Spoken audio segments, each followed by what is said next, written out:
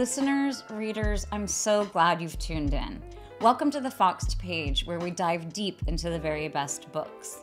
We end up with a much richer understanding of the title at hand, all while learning to read everything a little better. I'm Kimberly Ford, best selling author, one time adjunct professor at Berkeley, editor, and PhD in literature. And for anyone out there who doesn't actually traffic in rare books, Foxed Page might be something of a mystery, but foxing are simply those little tiny brownish dots that you see on the pages of very old, beloved books. Today, I cannot wait to dive into Cassandra at the Wedding by Dorothy Baker.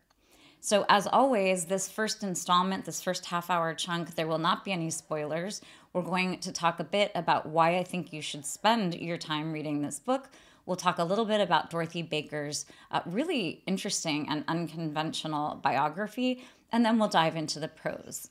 In the second and third installments, as always, we'll just dig deeper and really get an even more rich and, and sort of more uh, deep understanding of why this novel is exceptional.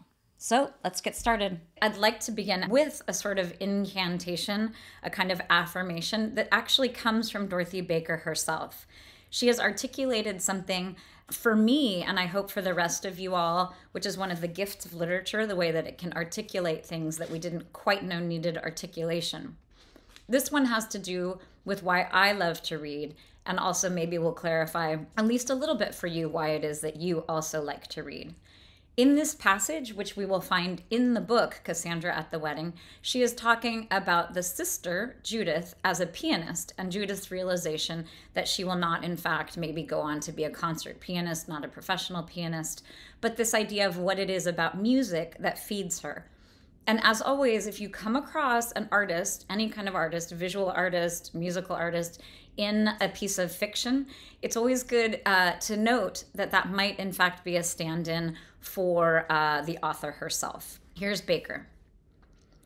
It had more to do with belonging to a tradition and staying in it and working at it in any capacity you can fit into, playing what's being written and what's been written, trying to keep it alive and separate the chaff from the grain and keep them separate, know which is which, and care, and that's a life's work. What I love about this book is that the chaff and the wheat here, the, the, the grain is unbelievably rewarding, but it also is a book that I found so charming and so funny and so irreverent that in lots of ways it feels kind of chaffy. So I'm looking forward to digging into why there is so much pathos and so much emotion and so much incredible prose here, but also why it why it is so incredibly appealing um, and, and accessible and interesting in ways that feel very fresh and very original. Okay, so we're going to begin. In fact, I've already begun talking about why we should read this book. Well, this one, let me tell you, Cassandra at the Wedding is kind of a writer's dream. And in lots of ways, that translates into a reader's dream. So, what I mean by that is that there is incredible humor and there's incredible pathos. But in addition to those things, which are some of my favorite ingredients, there are also some really deep philosophical questions that Baker is asking. Um, some of these questions have to do with identity, they have to do with family, with mortality, with sexuality, with becoming an adult, with loyalty, with pessimism versus optimism, with marriage. Really, a lot of the sort of big, heady questions are being brought to light in ways that I found unbelievably engaging and rewarding there's a lot of nostalgia for the mid century California that I didn't quite grow up in. I was born in 1969, um, and this book came out in 1962. But there is a sense of, of a California that I know and love, uh, mostly being the Central Valley. Which I haven't spent um, a ton of time in. Certainly driven through it many a time, but there is a deep, um, a deep nostalgia here for a California that I love. Also, there is just this unbelievable prose. We're going to pick that apart a little more. There's this amazing attention to detail. There's a there's a use of symbolism in this book that I mean, it honestly should be heavy-handed and yet none of it feels heavy-handed. But we're going to just go through some biographical information and then dive in. Dorothy Baker was born in Missoula, Montana in 1907, but she was raised in California. She herself was a violinist and was deeply, deeply invested in music, but had polio when she was a young ish girl and so had to give up her musical career and, and shifted to a love of literature. She went to a couple of different colleges, Occidental and Whittier, and then graduated uh, from UCLA and went on to get a French master's also at UCLA. So studied French both as an undergraduate and a graduate. She moved to Paris where she met her husband, Harold Baker, and wrote a bunch of short stories and, and right away embarked on a literary career. Her book, Young Man with a Horn, which was published in 1938, was incredibly successful. Um, it was about jazz, and it was a way for her to sort of sublimate this passion that she had for, uh, for musical art into literature in that book, we see a woman whose sexuality is somewhat ambiguous. And this is something we'll see again and again in Baker to different degrees. And um, this sort of preoccupation with lesbianism and, and this idea of, of what it means to be attracted to a woman if you are a woman. She did confide her lesbian sort of leanings or her desires with close friends. Uh, to, I mean, two close friends, she confided this, but she did stay married to her husband. And from the facts, as I read them on Wikipedia during my uh, literary sleuthing, uh, it seems like she had a decent amount of support from Harold. She wrote, in the sense that, I'll explain, she wrote a book called Trio, which was very much about a, a, a, a lesbian woman and her relationship and sort of her the way that she was vying uh, for a younger woman uh, with a man and she and her husband together made Trio into a play that got all the way to Broadway. It was actually shut down as soon as it made it to Broadway because of um, obscenity in the form of this lesbian preoccupation. But by all accounts, Harold was supportive of, of this book Trio, which had everything to do with kind of overt exploration of what it is to be homosexual. The couple uh, then moved to California.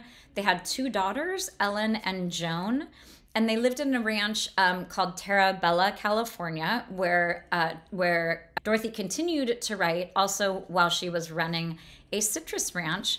That all seems very reminiscent of what we will find in Cassandra at the wedding. So I want to go ahead and dive in to take a very close look at what it is that makes this book so unbelievable. So, those of you who are here, either listening or watching, um, those of you who are interested in sort of making yourselves better readers, the thing that I would say is most important, and it's it's actually very simple, is simply to pay attention. So I find myself often um, skipping over things. I do also read for several hours every day. Uh, I also have a terrible memory, but paying attention is something that you can do, um, you know, sort of intermittently. But whenever you are paying attention, that's when you're going to get the most out of your reading experience. So we always begin with the title. So in this case, Cassandra at the Wedding is very, very significant. All titles of any good prose should be significant. This one is particularly so.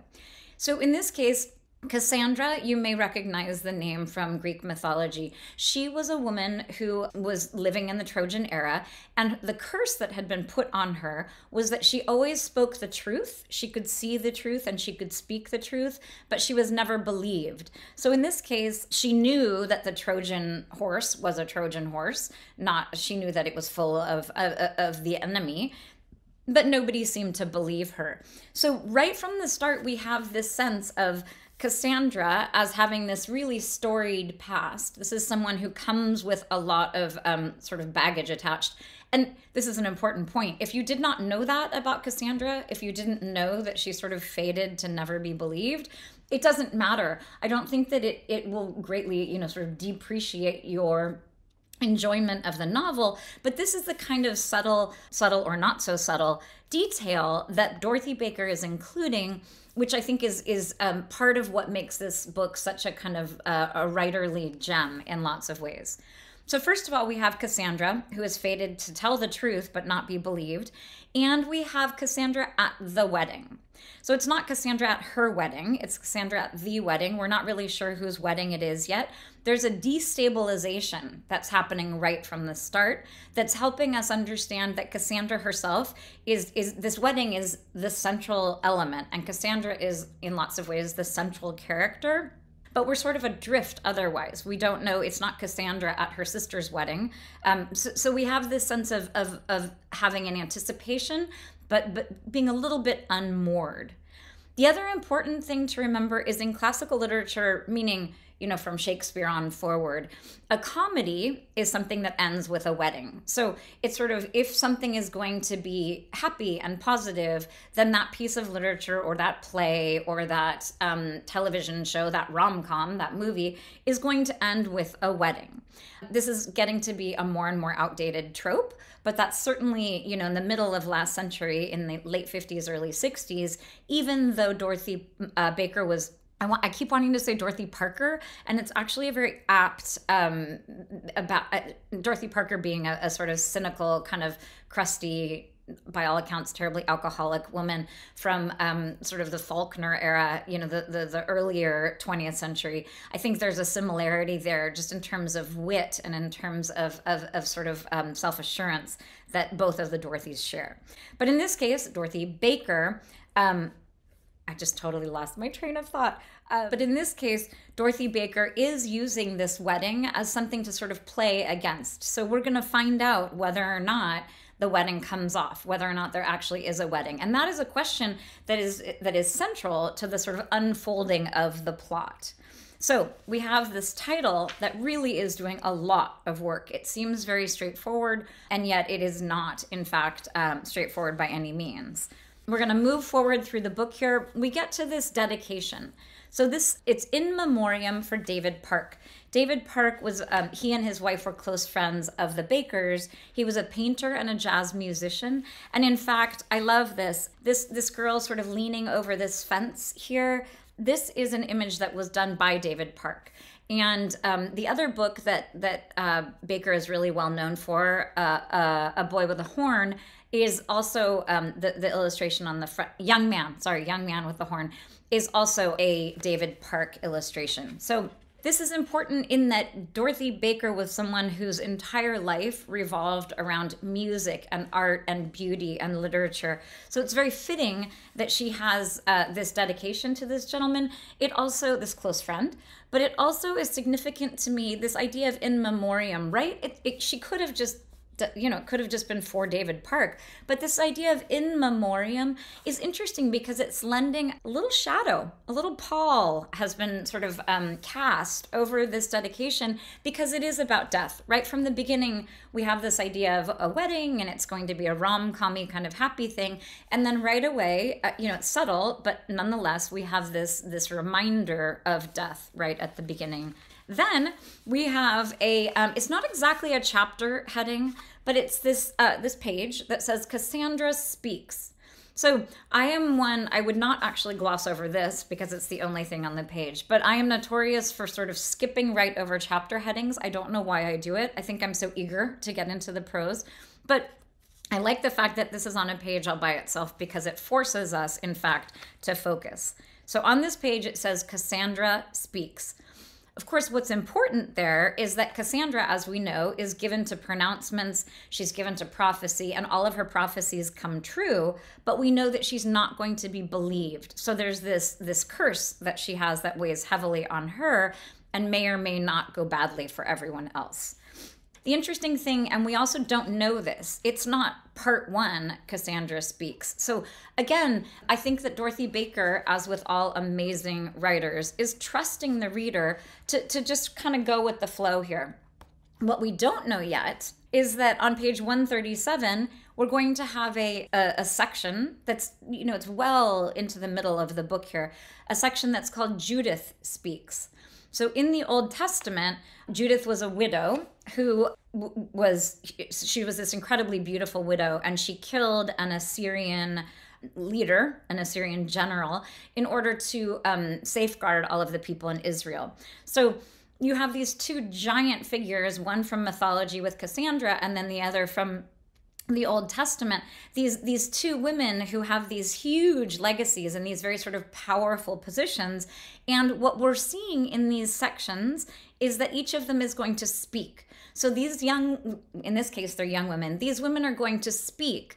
And that's a very important thing. We're going to talk about voice in the second um, session of, of this exploration.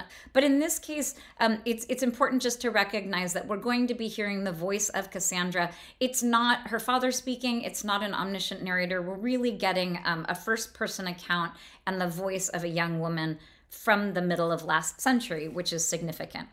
What we also don't know is that on page 193, Cassandra will speak again. There's another page that looks exactly like this one that says Cassandra speaks. So Cassandra is going to have the last word. We can be fairly clear from the start because her name is in the title of the book that she is the central character, but it is significant here that she is also given the last word. We're finally ready to dive into the actual text itself. The first thing that you'll notice here, well, maybe not the very first thing, the first thing that you'll notice is that I told them I could be free by the 21st and that I'd come home by the 22nd. So, this idea of I told them I could be free is so significant. This seems like, um, you know, it sounds like we're, we're hearing about her kind of her diary, not her diary, uh, diary in the British sense. You know, it's like we're hearing about her calendar. We're hearing about the logistics of this thing. But this idea of um, of like simple logistics is a really good indicator. It's a very good introduction for the fact that lots of what's happening in this kind of brief and, and in lots of ways funny novel by Dorothy Baker, it seems like it's kind of logistical details or sort of unimportant, you know, happenings that are occurring, when in fact every single thing is working incredibly hard.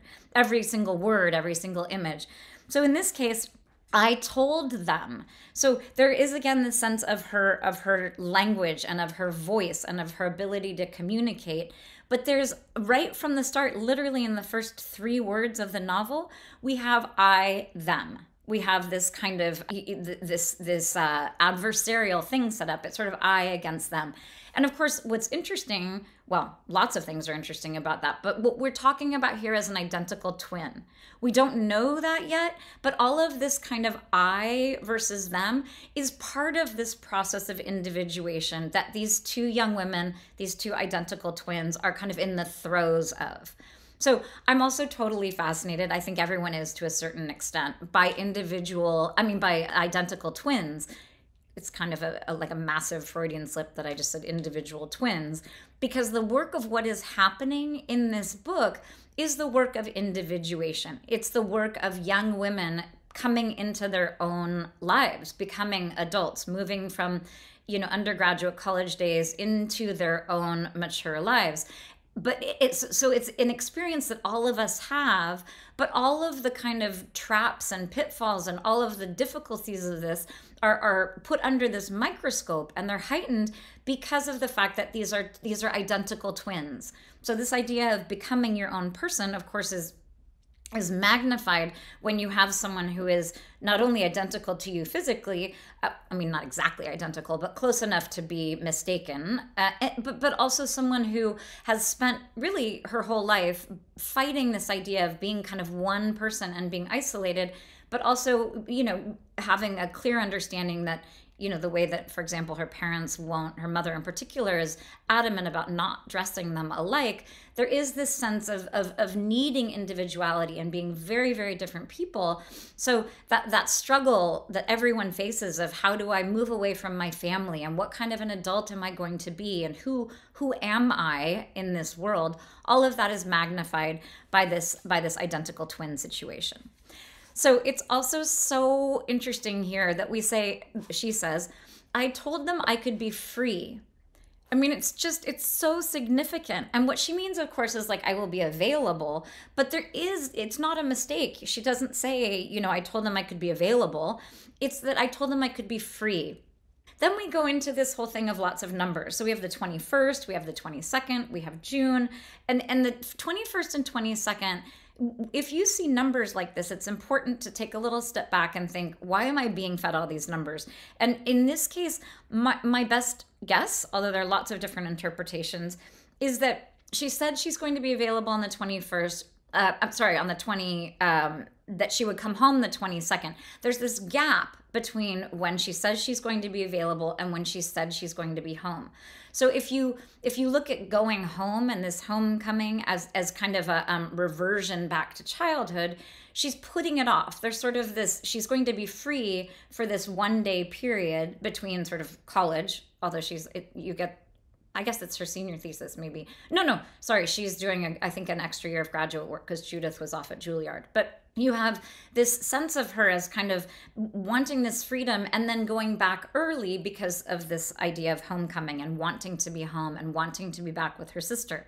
But 21 and 22, I think, also have significance um, soon in fact, just in the same paragraph, she talks about how uh, before they were 21, they figured out how to have, um, you know, which bars they could stop at on their way home, driving, different era.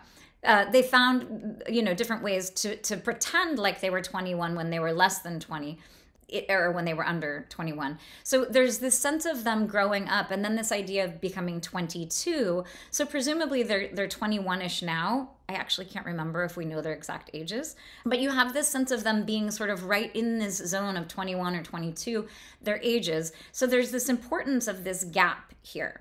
Also June being in parentheses, I, I love a good parentheses when it's well done. In this case, this idea of June, you know, spring and early summer being about, you know, sort of growth and the beginnings of growth. We're not talking about the harvest season in August. We're talking about um, the beginning of the summer, which is, you know, a time of, of, of great sort of fecundity and, and, and growth and fertility. Here we are at the end of, of the second sentence here. But everything went better than I expected. I had all the examinations corrected and graded and returned to the office by 10 the morning of the 21st, and I went back to the apartment feeling so footloose, so restless, that I started having second thoughts. So one thing here, um, this is a fancy literary term, which is in media res. So it's just a Latin term meaning that we are jumping into something in the middle of it. It's something that's already going on. I love in media res because it's it's usually a, a, a, there are lots of sort of tricky things that incredible prose writers can do to immerse you in something right away and make you feel like you're caught up in the middle of something that's happening which is a very intimate thing. This is not sort of you know once upon a time and there's not a lot of scene setting. It's like we're right in there talking about this young woman's you know schedule and when she's going to be home. Um, but there is this sense of, of trusting us to understand and she does such a good job of that. You know, we understand that this is some sort of a graduate student professor who's grading papers and who's getting them back to the university. So we, we know a lot about this young woman, even though very little kind of naming has gone on. But I also love she was feeling so footloose, which is generally a positive thing, but then right away it becomes so restless. So there's this idea of feeling footloose and fancy free and sort of, you know, again, free and then feeling restless, which is obviously very different, that I started having some second thoughts.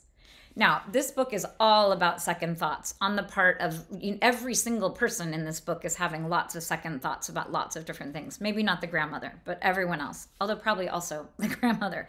But this idea of second thoughts as sort of finishing that first chunk of text, it's still the same paragraph, but it's it, we're ending with this big sort of weight on this idea of second thoughts and what she's having second thoughts about is is staying the one night. So there's this kind of second thoughts about being free the second thoughts about having you know time to herself in the apartment in berkeley. She goes on to say it's only a five hour drive from the university to the ranch if you move along. If you don't stop for orange juice every 50 miles the way we used to judith and i our first two years in college or at bars the way we did later after we'd study how to pass for over 21 at under 20. So again, here you have those echoing of the echoing of those important numbers. You also have this again this kind of trusting thing when she says the university and the ranch at this point, unless I had told you, you wouldn't even know that you're in California. But ranch is something that's, you know, you can have a ranch anywhere in the West, certainly. But the university, she's starting to sort of plant these more uh, specific details. What's very important here, too, though, is all of a sudden we have this first person plural, this we, what we used to. So there's this sense of her just using we and, and trusting the reader to, to sort of just relax and you know she's going to tell you who we is in just a minute. But then right away we the way we used to judith and i our first two years. So there's this sense of we as as being you know most importantly herself and her sister not the wider family. It's not the people of california. It's not the graduate students. We in this case is always judith and i as I say, if you move, if you push a little, you can get to Berkeley to our ranch in five hours. So now that things are getting a little bit more specific, it's Berkeley is the university and our ranch. So suddenly, we're geographically we're situated. We're also situated in you know Northern California, you know and and this young woman during the 1950s is at university so we're getting more and more information about what's happening here the reason we never cared to in the old days meaning the reason they didn't speed along was that we had to work up to home life by degrees steel ourselves somewhat for the three part welcome we were in for from our grandmother and our mother and our father, who loved us fiercely in three different ways. So, right from the start, it's notable that we have this matriarchy set up. We have this grandmother, and then we have the father who's not related to the grandmother. And then we have the mother. So we have this grandmother, mother, and then this set of identical twins. There are lots, a lot of sort of girl power. It turns out, of course, that the, the father, this, you know, retired, uh, young retired uh, philosophy professor, is in fact very very important but he's so much a tragic figure. I mean this is someone who is an alcoholic who is living on this ranch who is just thinking of philosophical problems largely by himself with his mother-in-law which is so sad because it speaks to the grief that everyone is still feeling over the loss which we haven't actually gotten to yet. Sorry i jumped ahead a bit and it's so nice because right from the start we're, we're, reassured that everybody here loves each other. And you you have a sense i think um, just because of the straightforward way the narration is going that we're not being lied to here. So when she says we were in the, the welcome we were in for from our grandmother and our mother and our father who loved us fiercely in three different ways that's very powerful. Fiercely of course is a is a um, you know it's a fierce ferocious kind of word. And three different ways it's so these girls are very lucky to be loved ferociously uh, fiercely by three different people in three different ways. So there's no shortage of love at this point. She goes on to say we love them too, six different ways, which is so sweet. There's this kind of multiplication and all of these numbers. Maybe it's kind of a strength in numbers kind of thing. But in this first paragraph, this emphasis on numbers and and and sort of proliferation is really beautiful. We loved them too, six different ways, but we mostly took our time about getting home. So, again, um, one of the things that I would counsel you to do if you're trying to read more richly and more deeply is to understand that the word or the phrase or the image that ends a sentence or that ends a paragraph is incredibly important partially because it's um, you know the, the sentence everything in the sentence is building toward this thing at the end but also because it's a term even at the end of a sentence and it's only the span you know of a, of a period of a space between sentences um, it, it is something that's lingering in your mind so in this case getting home is a, it's a very very important end to the beginning of this of this pretty dense pretty long first paragraph so usually we would stop right then, but I do want to look at this very next um, sentence. It wasn't three part anymore, the welcome. I am a huge fan of the em dash. So that that kind of double hyphen, that em dash there is really important. It adds an enormous amount of emphasis. So you have this beautiful it, it wasn't three part anymore, which is ominous, and then the welcome. Our mother died 3 years ago, much too young, but I'm not sure she thought so and she would therefore not be present at Judith's wedding. It's so sad. You have this kind of beautiful um, idea of homecoming, and you have some ambivalence and some second thoughts and whatnot.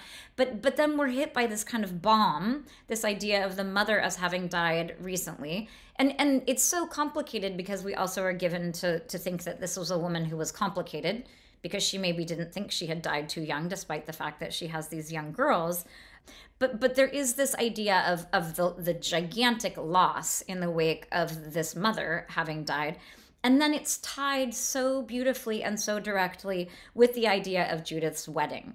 So, the loss of the mother and Judith's wedding, which are imparted at the beginning of that next, um, of the second paragraph of the book, kind of come as this one two punch that's really so beautiful and, and just really speaks to all of the pathos in this book.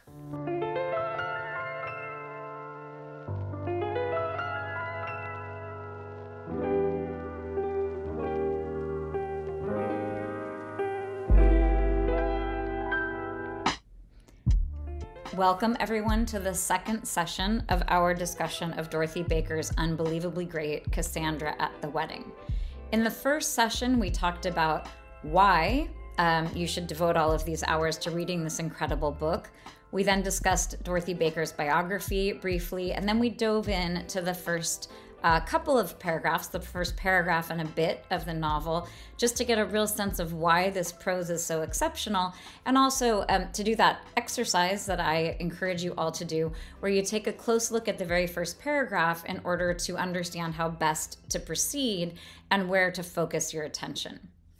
In the second session, we are going to be talking about the voice of the narrator. In this case, it's a first person narration um, that, that is held by two different people, which is always an interesting approach and, and one that I think works incredibly well here. And then we're going to discuss the structure of the novel. In this case, it, it actually sort of jibes very nicely with the voice in the novel. And as we talk about the structure, we're going to take a very close look at a couple of important scenes.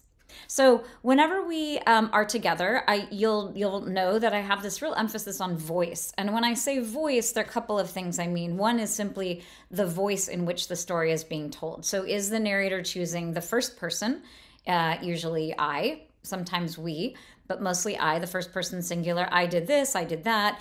Or usually it is a third person. So, you know, Cassandra did this, Judith did that, Granny did this, um, Papa did that. So in this case, we have a first person narration. And I always like to point out the importance of women, uh, of, of not only women writers, but, but, but women characters in novels having voices. It's very important and, and sort of an important political act in some ways to tell the stories of women, something I think we're all um, very aware of these days. In this case, we have this very interesting first person because it's not just Cassandra who is speaking, it's also her twin sister Judith. As you can imagine, their voices are similar in lots of ways. They've grown up together and very isolated in this kind of rarefied philosophy professor father and um, novelist and playwright mother. So they've grown up in this kind of heady uh, environment. So their voices are similar, um, but there's some real differences we're going to take a look at. What I like too about the voices is that we have Cassandra speaks, and we talked a little in the first uh, session about the importance of Cassandra's voice, given that she um, she is she you know says prophecies, uh, most notably on the wall of Troy, and yet no one believes her. So we have Cassandra who's speaking, and then Judith has a brief time speaking, and then Cassandra is speaking again one of the important things too to recognize is that if if the important work of this novel is individuation if what we're kind of invested in here is the idea of these two young women becoming separate adults and going their own way toward toward womanhood toward adulthood it is important that we hear from both of them it's obviously mostly Cassandra's story. We hear more from her perspective by by a good margin, but it's also important to hear Judith in part for the contrast, but also because it does really help us see the ways in which they are very different people. Okay, so let's begin on pages 6 and 7. We're going to take a look at Cassandra's voice here and these are whenever i'm choosing um, you know things like this to take a look at uh, uh, when i'm choosing a passage to take a look at something like voice we're obviously also taking a very close look at all of the other elements that make this such an incredible novel. On page six it's the first full paragraph the second one on the page. I pulled the page out of the typewriter, crumpled it up, and dropped it into the wastebasket beside the desk shuffled the other six, 56 pages until the edges lay smoothly together, put them into a folder and then into the top drawer, and snapped the cover onto the typewriter. If the apartment should catch fire while I was at the wedding, the world would never know what it was I was at such pains to stay, say about the novel as currently practiced in France by mere girls and some boys. But it wouldn't catch fire. And when I got back, I would undoubtedly pull the crumpled page out of the waste basket, uncrumple it, copy it word for word, and be back in business. Two weeks from now, maybe only a week. So one thing to remember here is again this idea of prophecy. So Cassandra is telling us right here, you know, on the third page of the of the novel that she is going to return to work. So on some level, if if you're an astute reader and you know the story of Cassandra, you should be taking this, you know, you should be taking this as prophecy right from the start of the book. It's also important she's got this kind of self-deprecating humor throughout.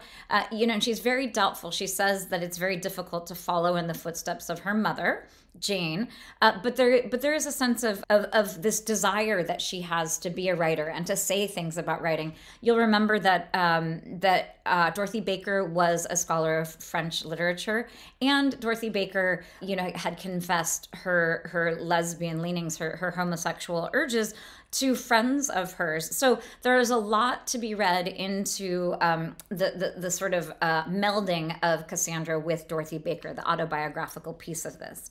So there's this notion of, you know, she knows that the apartment's not going to catch fire, but there's also that kind of self-deprecating thing about um, how it's the it's the French the French novel as practiced by mere girls. But there also is an important thing uh, there about she's amplifying the voices of these French girls. Okay, and then right across um, on page seven, this is more to take a look at, at, at, her voice. And there's a certain sort of scattered air about Cassandra. There's a certain urgency. There's lots of pathos and lots of humor. But I loved this because there is this is doing so much work, this passage right here at the top of page seven. I'm very fond of my grandmother. We both are. And I'd picked up a box of chocolate cherries for her before I left town. They were out in the trunk of the car, melting, while I sat here in the cold bar getting solidified and hoping that I had not put the chocolates on top of the box with the dress in it.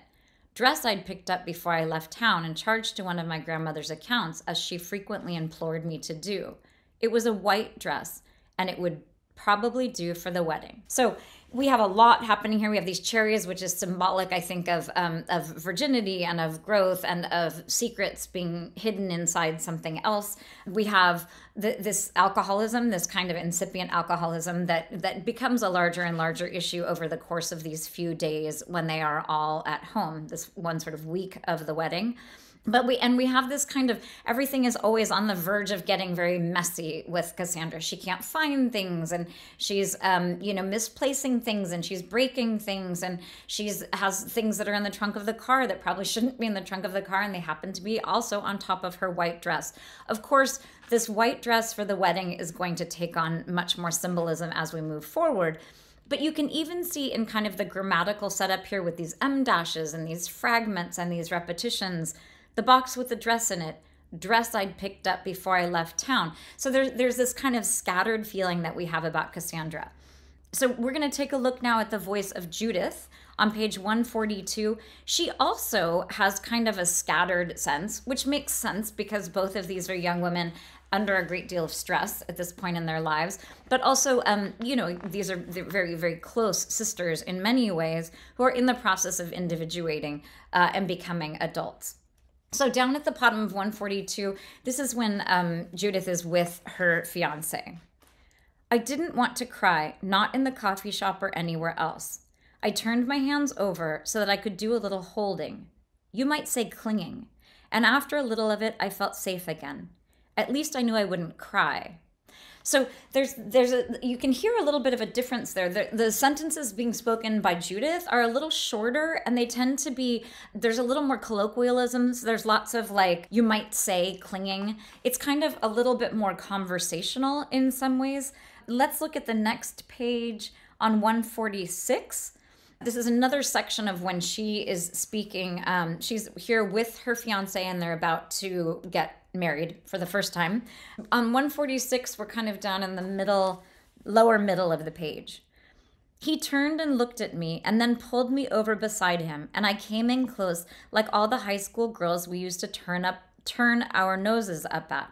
We were wrong. It's the only way to sit in a car. It gives you some confidence. You can confide. So again, we have these more staccato, declarative, shorter sentences that Judith is speaking. There's also, though, a sense of sort of groundedness and security in her when she says things like, We were wrong, or It's the only way to sit in a car. You can confide. These are um, declarative sentences that speak to her self possession, something that Cassandra does not yet have. Now we're going to move on to page 150. The other thing that we see in Judith's voice is a little more reportage. So Cassandra is talking a lot about what's happening around her, but there's more editorializing and there's more worrying and there's more kind of obsessive thoughts. With with Judith we see a little bit more straightforward, you know, description of what's happening. It's still incredibly significant what she's saying, but it's a bit more straightforward. The bottom of 150 I watched him walk down the hall and turn a corner and I pushed the door open and went inside and realized that I was within five minutes of becoming a different person, facing in a different direction, free to be myself for the one I loved. So again, you have this very there's a there's a real sense of security even on the eve of something that that is life changing. She's very clear about what's happening around her.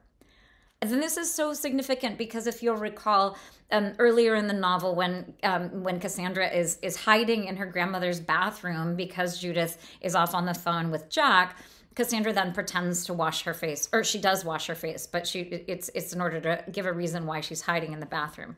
But here, right before Judith is about to get married, we have this scene. I washed my face three times with soap from a dispenser, dried off on paper towels, combed my hair, tucked in my blouse, decided against lipstick, and when there was nothing more to do and my watch still said I had one minute, I stood where I was and I looked in the mirror, steadily and for as long as I had, and made my farewells to the one I saw there. Goodbye, Cassie. Let me go now. And be happy, because I'm going to be, and you can too. I'm sure you can so much is happening here. When she is foregoing the lipstick, on some level, I think that is her foregoing um, the makeup of the clown. So this clown image that their their mother found for them and put in their room, and that is watching over Cassandra during her suicide attempt. That the the, the lipstick for me is is both about sort of um, you know, not being yourself or, or exaggerating yourself. She can entirely be herself with her fiance, even at this huge moment um, when lots of women were would opt for lipstick. But there is also kind of a shadow of of the clown who is really a stand-in for their mother. There's also this looking in the mirror. There are lots of mirrors in the book. Mostly it's Cassandra looking into mirrors, whether at the bar or looking into the mirror of the water like Narcissus. But in this case, we have Judith looking in the mirror at her sister's face, essentially, and really being very clear about their futures that, that she knows she is going to be happy and she knows Cassandra can too. So we have this, this very sort of distinct voice on the part of Judith that's really very beautiful.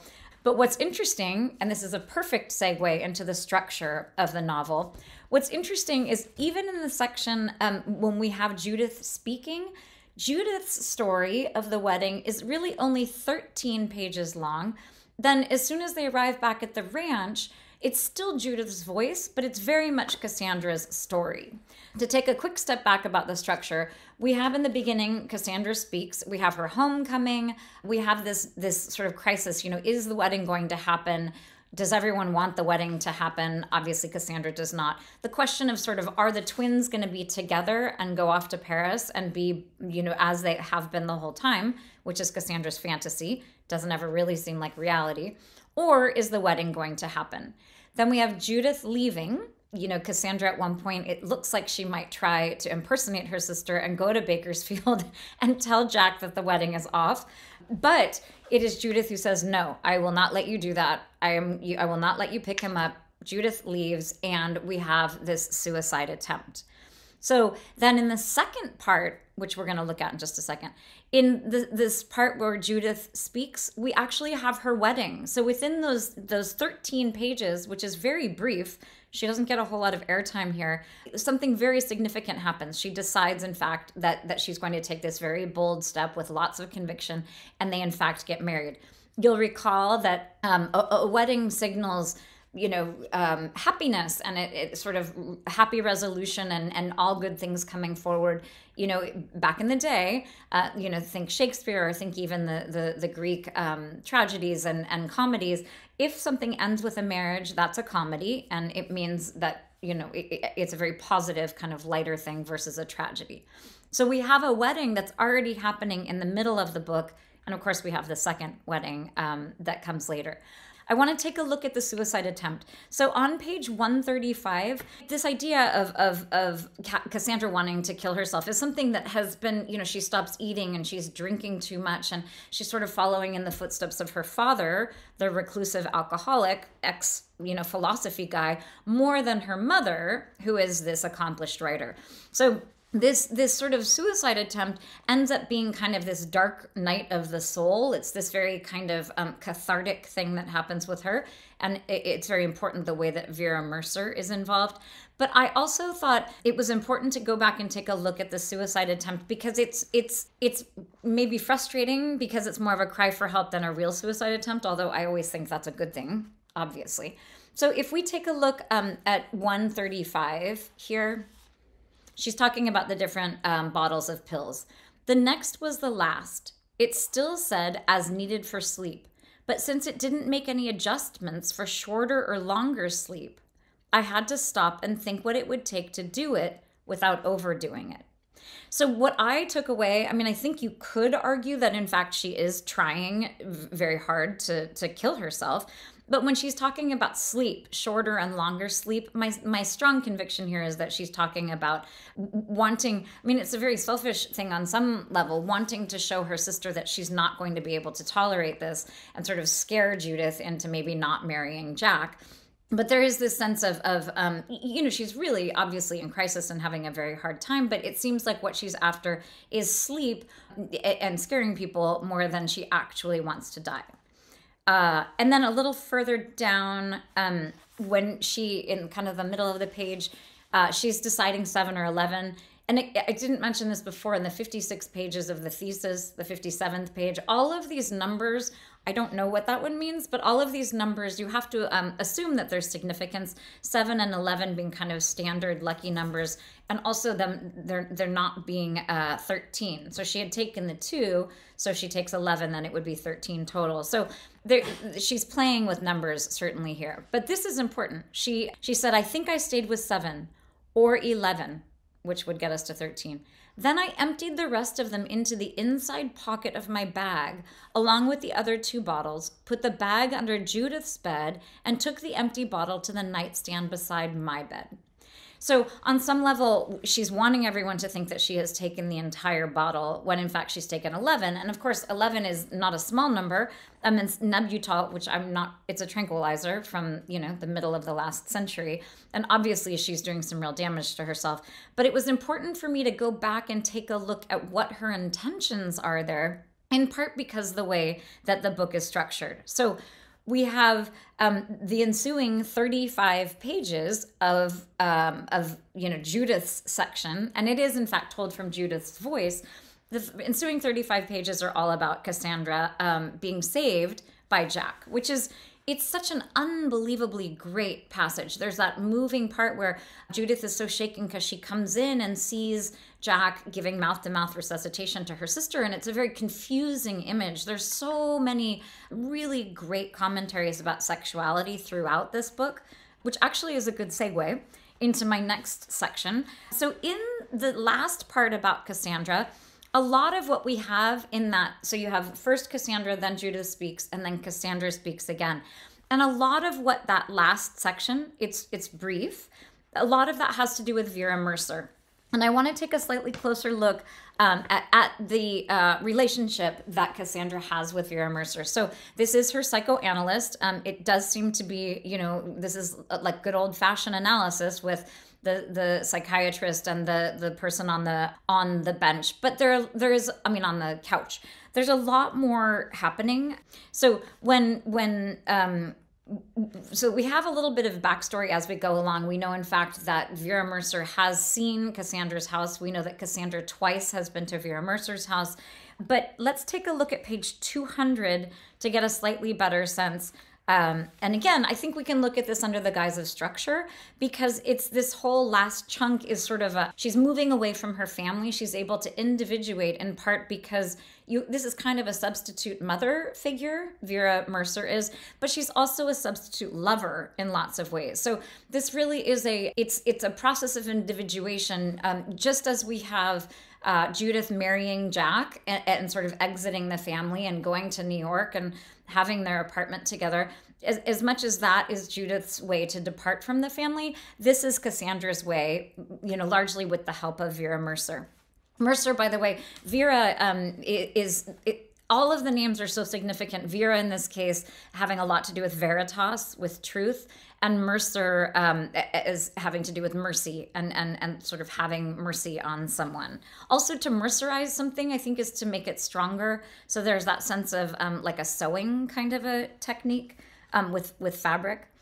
Okay, but so let's take a look at page um, 200.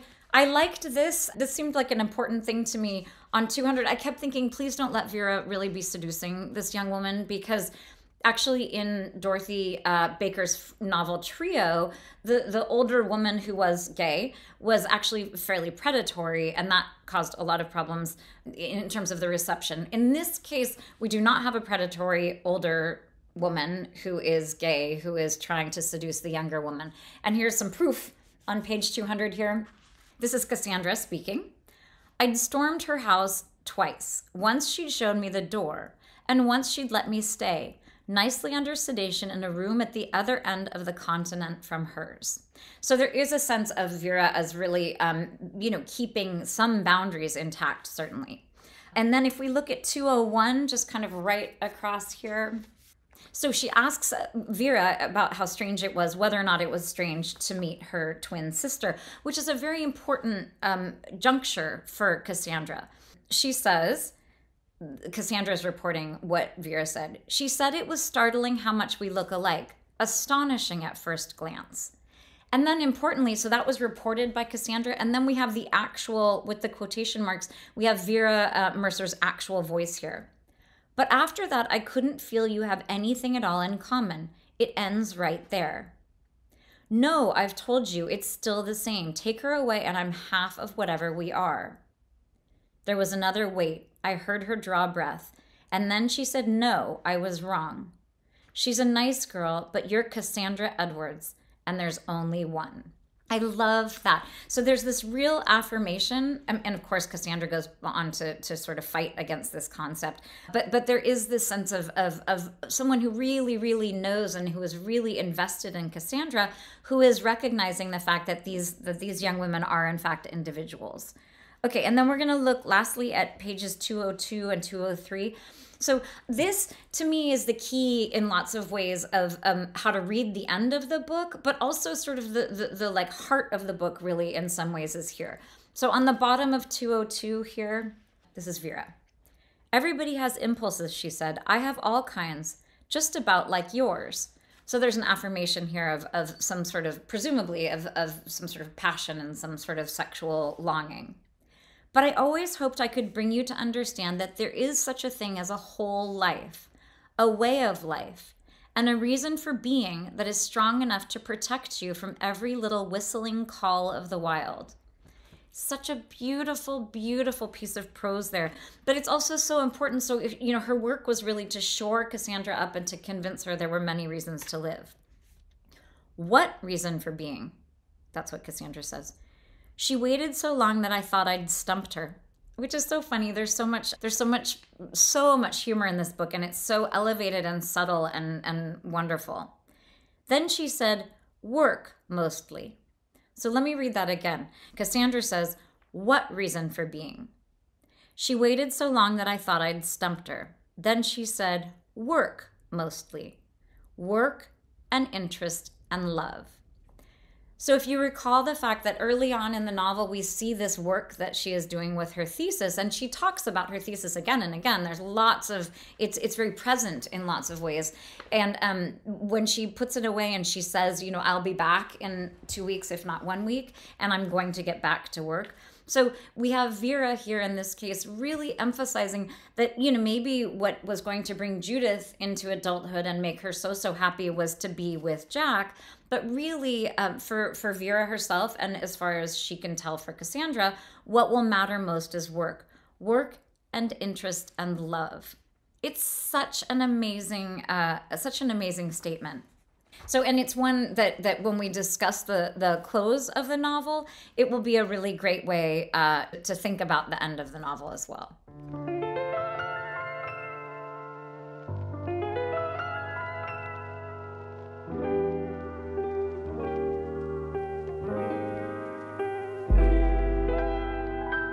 Readers, welcome back to part three of our discussion of Dorothy Baker's amazing Cassandra at the Wedding.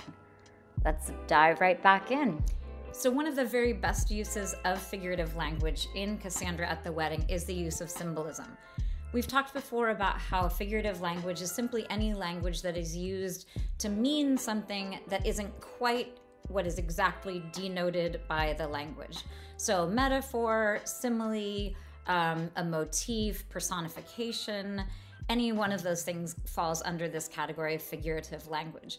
But symbolism is sometimes can be very heavy-handed and often is um, is sort of feels like a cheap trick.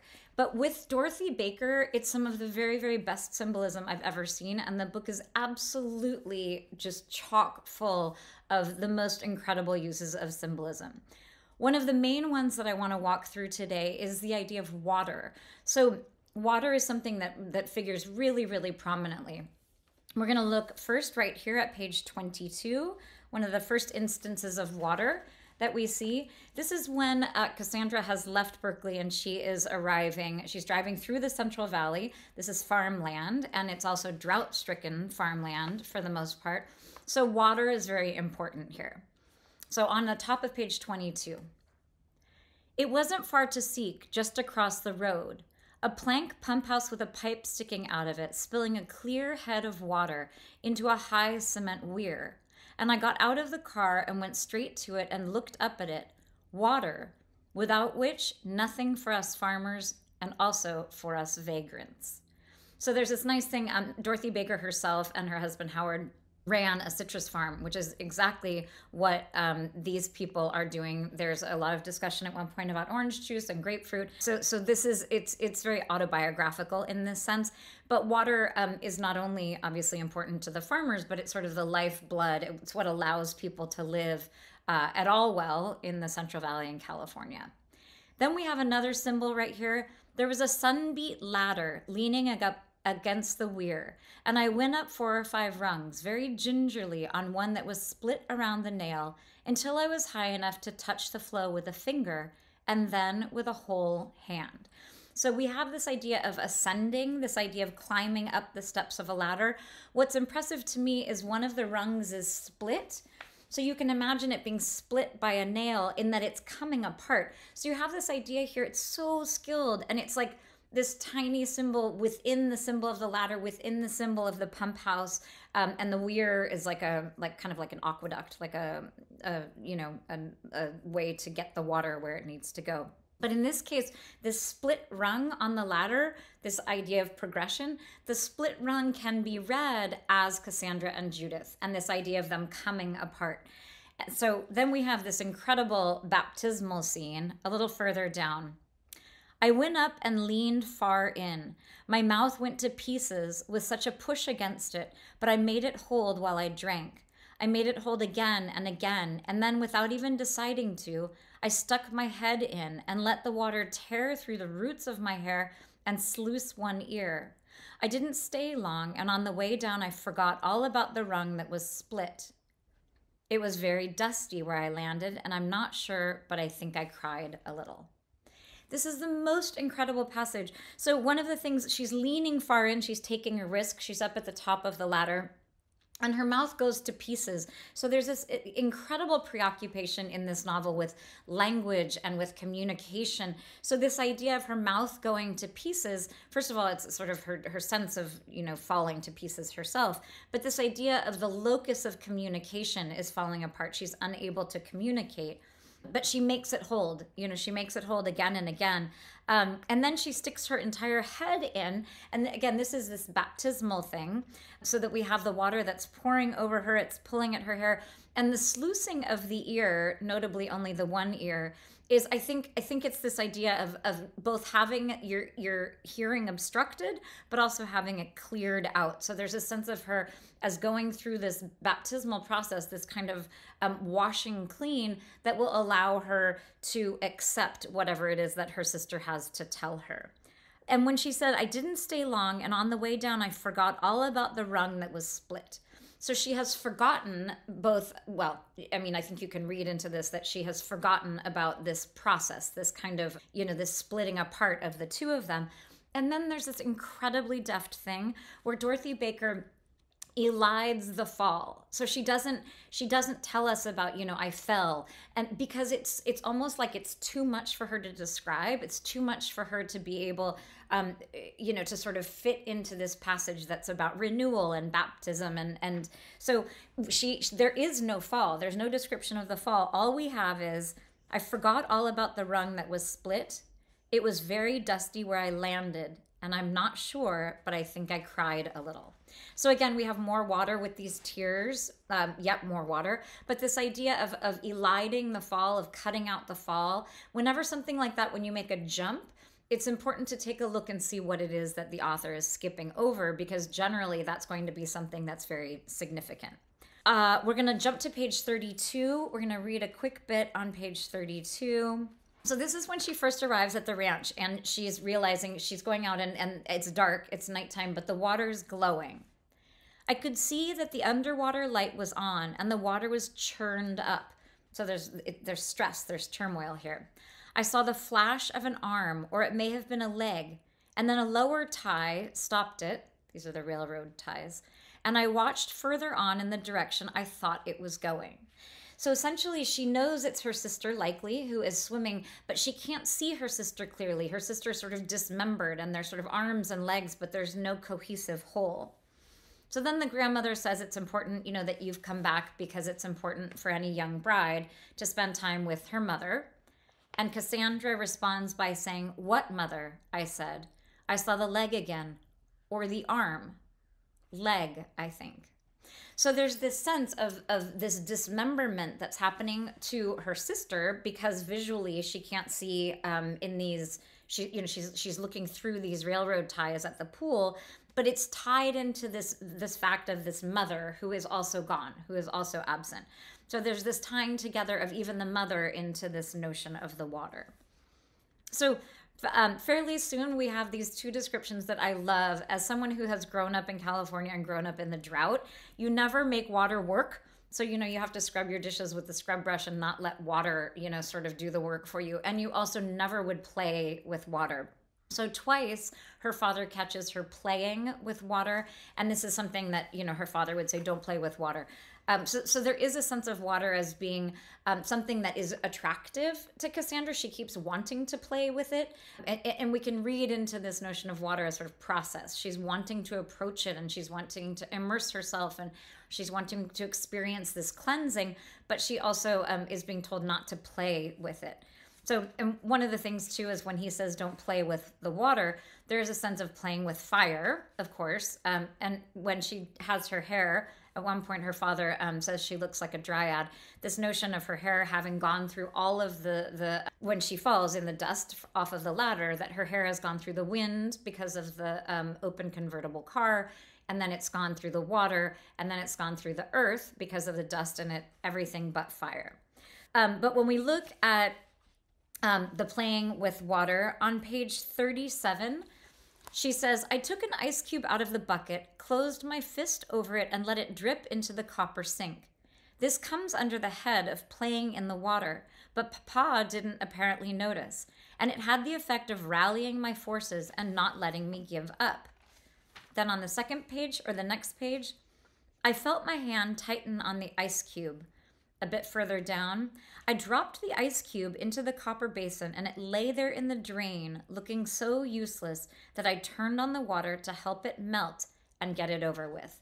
So there's this sense of Cassandra as as identifying with this ice cube and having a real sense of fortitude in in holding it. Um, and of course, Ice is water that is frozen, that is not that is not passing away, that is not processing. It's resisting. Um, well, I mean, it is. It's melting, but it's it's resisting the flow, which is kind of water's most natural um, most natural state.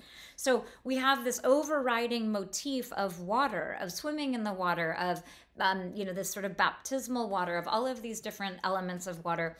And in this case, she is playing both with flowing water and with ice. Again, um, just after this point, or just before this point, her father describes her as a dryad. So she says something, he says something about her hair looking like a dryad's hair. And importantly, a dryad is a it's a nymph, which is a you know a, one of the lesser gods in the Greek kind of pantheon. And but it is um, uh, the dryads are are associated with trees and and they're nymphs who are sort of nubile, marriageable, sexually kind of potent uh, lesser goddesses. But naiads are the ones who are in the water and dryads are the one who are in the trees who sort of inhabit trees. So there's this idea of of, of water and of of earth as being two sort of um, strata in which these um, in which they live and her father is sort of claiming her as a dryad. So then on page 37 and oops i read that 37 and 38 Oh, and then we have that hilarious, speaking of water and not water and not processing, we have that hilarious moment where um, Judith is on the phone with Jack Finch, Lynch, Lynch, no, Finch. Oh my gosh. So my confusion, of course, stems from the fact that Cassandra is often calling him Lynch and then realizes that it's Finch both of those names being very significant of course because a lynching you know a lynching is a is a strangulation of someone. So she's imagining his name is lynch when in fact it's finch. Finch being kind of close to fink um, finch being close to flinch. So there are all sorts of connotations that are coming up with poor jack's name. But when Jack is on the telephone, where does our Cassandra find herself? But in her grandmother's shower, fully dressed. There is no water. She's standing in a bathtub with the shower curtain around her. So there are two different sources of water. Um, and of course, she's fully dressed and not gonna, you know, have have any of that processing happening. None of the flowing of the water, none of the cleansing or changing of the water is going to affect her. When Judith comes to find her, though, she is feigning that she needs to be washing her, her face. And when Judith asks her a question, she makes it sound gurgly through the water. So there is there's just this sort of omnipresence of, of water throughout. Also, this is the kind of detail that just absolutely blows my mind. So um, she realizes that her bikini, Cassandra's bikini, is in a drawer back in Berkeley. But her bikini, interestingly, is black and brown striped, which sounds kind of hideous to me, but you know, different era. But the important thing about that and the impressive detail that we have layered in here is this is is the fact that also Jack uh, Finch, when Judith meets him at the airport, is wearing a suit that is black and brown striped. So you see this kind of toggling of Judith between her sister, who's wearing this black and brown striped bikini, and her uh, her fiance, who is wearing also a black and brown suit. Um, incredible details, incredible parallels that you know even if you're not noticing them somewhere in your subconscious this is subconscious this is why um, you know i think the, the prose feels so rich and why this book really rewards reading and reading again and it's just it's an incredible use of symbolism. So now we're going to move uh, to page 71 take a quick look at what's happening there with the water. Oh okay this is amazing. This is the scene when um, when cassandra does go swimming. So she's in the middle here and there's been a lot of anticipation about her uh, taking her sister's place in the water. I felt the bottoms of my feet push against the coping, and then the quick breath and the lift and the deep thrust, and no thoughts now, just water, my element. Water doesn't change, it remains my element. And then a little further down, when I came to the light, so she sees this light that's kind of like the moon in the swimming pool. When I came to the light, I touched it with both hands, claimed it for Olympus, my country, and then came up and broke the surface and hung at the edge of the coping, grasping for breath, the way we used to at the end of a race. it's so incredible. So first of all, this coping, you know, the coping is just the, the sort of um, the concrete edge that you would have around a pool, but this idea of grasping the coping, of her coping, this idea of kind of barely coping, and and we're also getting a sense here of the fact, and there have been um, little indications of this all along, but Cassandra is not well. She's stopped eating. She's essentially stopped feeding herself in the nine significant nine months that Judith has been gone. It's sort of an effort to, um, you know, to make herself smaller and to make herself ultimately disappear. This idea of not, not, you know, nurturing herself. But so here we have her in this kind of rarefied, in her element, and she's claiming this as a naiad and as a dryad and for all of the gods on Olympus. So there is this sense of potency that we have when she is in her element, and then when she comes back up and she's just barely coping, she's grasping onto this coping. So then a little further down on that same page, her sister Judith is nearby and says, I thought you weren't ever going to come up, she said. And I told her it was a sort of last minute decision, but she didn't understand it because it was all gasps. So one of the things that's also happening, um, not so much to do with water, although here we see an example of it, is communication in this book is constantly stymied. Um, and, and, we're going to talk in one minute about uh, one of the main symbolisms that that has to do with uh, communication. But we're going to wrap up this this discussion of uh, the water and symbolism in the water on page 134. So now we're pretty significantly through through the book. And we have her, this is right before Cassandra is about to make her suicide attempt or her like ish attempt. Um, right in the middle of the page here. I let the water run out of the tub and later got out myself and dried off a little and caught a look at myself in the long mirror on the door. Lots of mirrors throughout the entire novel as well. Thin, but I didn't think really too thin. Somewhat boyish, but again, not all the way. The dryad word came again. My dear papa, the great skeptic, and which skeptic was it that said that the only thing better than dying young is never to have been born at all?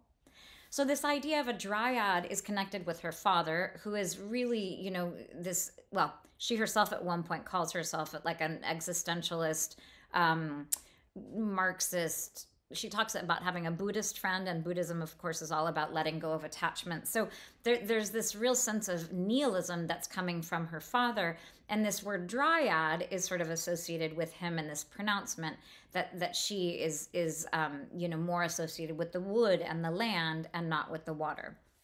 So then, of course, um, on the next page, when she's talking about well, when she's walking us through what is essentially a suicide attempt. So, um, in in this page, though, we have this idea. She has a glass of water that she's bringing in, and so water is the tool with which she's going to ingest the poison. So here, water is becoming something more nefarious. Here, it's it's her element, but it's the element which will deliver her unto death, really, is what is happening here. And in fact, she almost runs out of the water, but is able to sort of pace it and um, succeeds in, in having just the right amount of water. So I want to close by this discussion uh, by looking at page 226, which is the last page in the book. Um, the, well, the last page of the novel just we're not going to look at it too closely because at the end of today is when we're going to take a much closer look at the close of the novel. But what I want you all to notice is that water is the last word of the entire book. So we've talked before about how words that end a sentence or a paragraph or a chapter are words that have extra weight put on them. Well, as you might imagine, the word that the book ends on takes on very, very significant weight. And in this case, it's so beautiful because what she's talking about now is the water of the bay. She's talking about the ocean and she's talking about looking down upon it from the Golden Gate Bridge. So at this point, she has she has decided, at least for now, not to jump off of that bridge, and it's the sock that is falling, um, and she doesn't quite see it hit the water. Uh, but, but there is this sense of, of water in the end as both being, you know, a sign of optimism in that she is deciding to keep going to keep living but there is also a sense of water as being um you know the way that she would have truly you know throughout the entire book she's she's discussed she's discussing with us with her trusty reader um, whether or not she is going to take this exit sign and jump off the bridge and presumably drown. So one of the things that's happening throughout is we have water has all of these different meanings all of these different associations all of these different valences but it's really fascinating that one of them is is either sort of deliverance you know it's either sort of this baptism and growth in the central valley or it is in fact drowning and death. So just to give you a sense of like the incredible skill with which uh, dorothy baker wields her her pen in terms of symbolism we could have done this same 20 minute interlude with shoes so you know she has her sneakers that her sister says you are you trying to look like a prophet because they're falling apart and she uses the lace to to um, tie up her bathing suit. So you have her sneakers, you have the wedding shoes, we have her being barefoot at different times, we have the espadrilles. Um, so you could we could do easily 90 minutes probably on the shoes. We could do um, a long, long uh, look at the moths. How about moths flying to the flame, to the light? Um, the moths that are a symbol of summer that are associated with the grandmother who sees them as destructive, um, but also Cassandra who sees them as beautiful. Clothing in general is so important throughout the entire book. It's really a main motif, and it's um, you know you could do just with the wedding dresses, for example, which is a giant symbol, the clutch bag, the fact that she has this bag, it's both clutch in the sense that it comes through in a clutch, but it's also a clutch bag. In fact, at one point she is clutching it like a like a baby, like a doll. Um, and, and and part of that is because it is a cry for help. It's when she's taking all of those pills um, and not quite wanting to kill herself. There is a sense I like to read into it that she wants this um, this surrogate mother, this analyst, to come to her and and help her. She wants someone to come and and sort of rescue her and save her. So it's this idea of of being a child. So it's associating the baby with herself. She herself is the baby. She's clutching this purse to her um, to her chest, but also this idea of of needing to go through this kind of dark soul of the night um, and and becoming more of a mother figure herself. Telephones are an incredibly important symbol throughout. So it's it's talking about distance and long distance communication and the inability to communicate and interruptions and the costliness you know the, the the sort of the cost that that it takes from one not only just the coins but the ability to communicate. And then we have the clown. So we have this this kind of clown that is is given to them by their mother and they don't feel like they can take the clown down. And the clown emerges at these very important times in the text.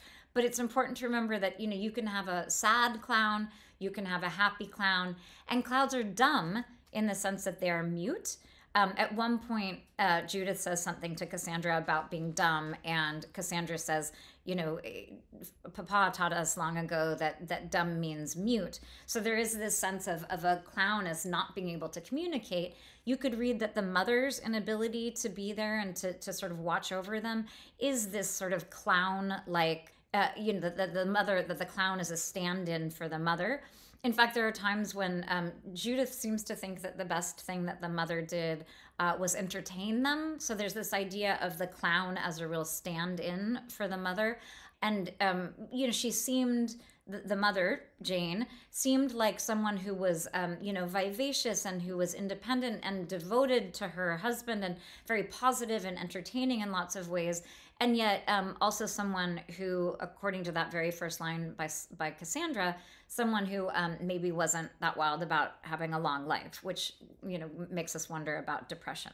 Point about the symbolism in the, listing all of these other elements is we could talk forever about all of the different symbols in the book. Um, you know, these tiny, tiny details that are symbolic in and of themselves, and then these motifs and a motif is simply um, a, a, symbol or a metaphor that, that continues throughout the whole book, like the water. So, water is seen as a symbol, but it's also seen as a motif that runs through the entire book. So, this is just one of the very, very many ways that Dorothy uh, Baker is really proving her chops as just an amazing prose artist. So, in terms of structure, we have this experience that she has with Vera, and this notion that um, that work and interest and love are the keys to to wanting to live and to living a full life. And what I really love is that there's kind of a little coda at the very end. There's like a little uh, thing that brings us full circle. So the last, what is it? The last four pages of the novel show us Cassandra back at Berkeley. And I was so happy to see her back there. And not only is she full circle in being back in Berkeley and back in their apartment, but we have this woman, Liz Janko. So, Liz Janko is one who is calling uh, in the very beginning of the novel on page six. And it, it's it, she's Liz Janko is someone who had been calling on the telephone. Cassandra tells us for two months. So this is someone who you know she is currently having some sort of love involvement with, um, and it's it's important to remember that the, the span of the wedding is a week or two, exactly what Cassandra tells us at the beginning. So she's been seeing Liz Janko for a couple of months. She's gone for a week or two, and now she's back in Berkeley. Here's Liz Janko looking in the window.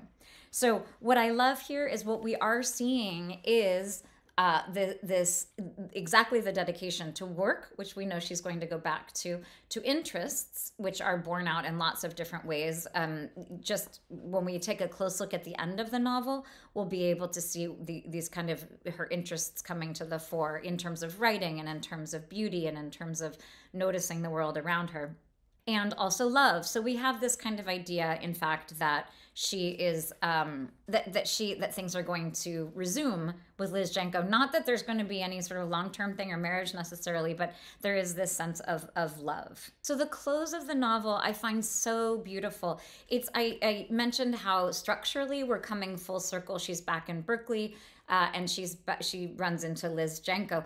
What's nice is Liz Janko um, has just come from walking across the Golden Gate Bridge, which is obviously very significant. Bridges are a major uh, symbol throughout the novel. We have the Golden Gate, of course, as, as this kind of existential exit sign um, that, that's very alluring for Cassandra because she's co- contemplating suicide.